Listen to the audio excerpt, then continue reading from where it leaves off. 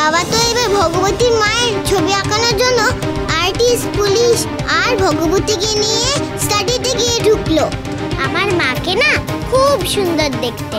মা দুর্গার মতো। কেমন বড় বড় টানা টানা চোখ লম্বা কালো চুল। তোমরা এখানে? আচ্ছা বলছি আপনারা খেয়ে যাবেন কিন্তু। কি লুচি করে দেবো? এ কি ভাত? ভাত না খেয়ে যাওয়াটা না একদম ঠিক হবে না।